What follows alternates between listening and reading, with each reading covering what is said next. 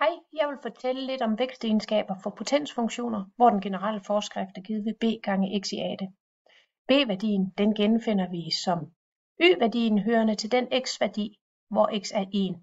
Her er der tegnet en potensfunktion, som har forskriften 0,5 gange x i 2,5. Det er en voksende øh, konveks funktion. Og det, der er særligt ved potensfunktioner, det er, at hvis vi øger x-værdien med en procent, bestemt procentdel, ligegyldigt hvor vi starter, så øger vi også y-værdien med den samme øh, procentdel. Og vi ser på et konkret eksempel.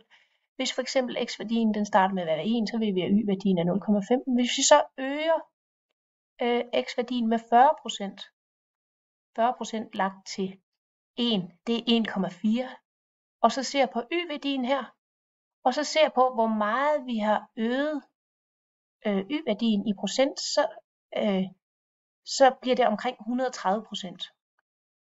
Hvis vi tager et andet udgangspunkt, hvis vi for eksempel starter i 2, og siger, okay, vi øger stadigvæk med øh, 40 procent, det svarer til, at vi skal ud til 2,8, så har vi øget med 40 procent på x-aksen, så er øgningen på y-aksen stadigvæk 130 procent.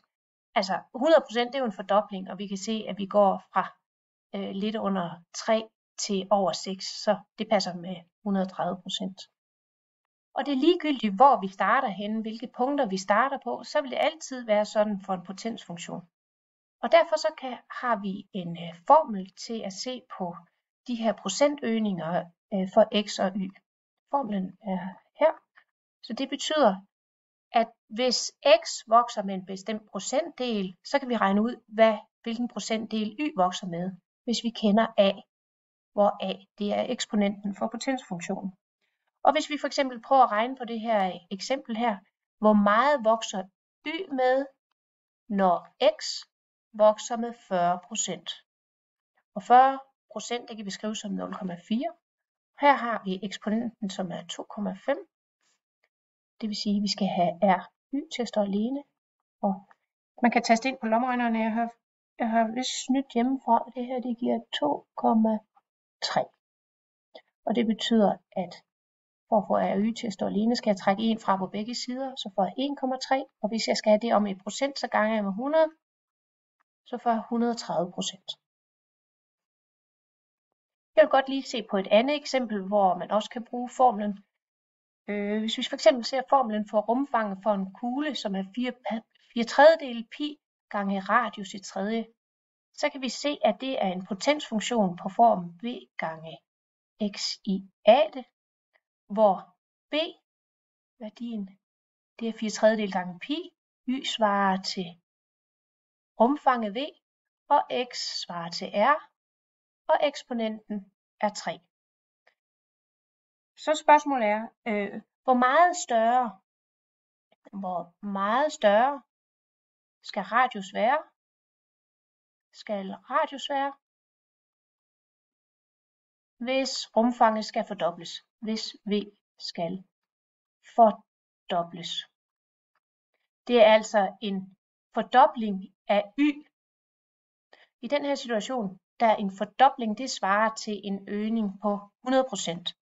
I den her situation er en fordobling af rumfanget, det svarer til, at y er 100%, eller i decimaltal 1,00.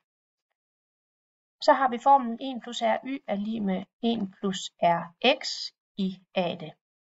I vores situation her er a3.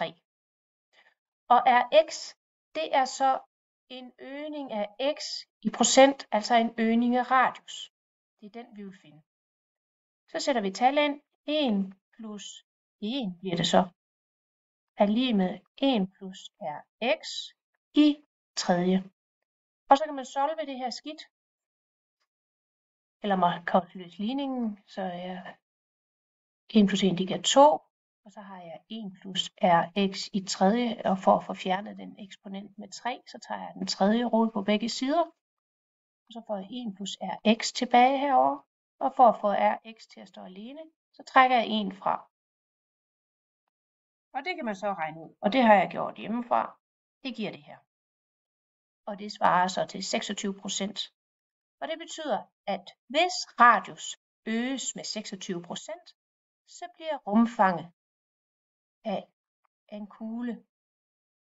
Altså hvis vi har sådan en kugle, og vi skal have rumfanget, så hvis vi øger radius med 26 procent, så bliver rumfanget dobbelt så stort. Det er det, vi har fundet ud af. Det var det. Ses.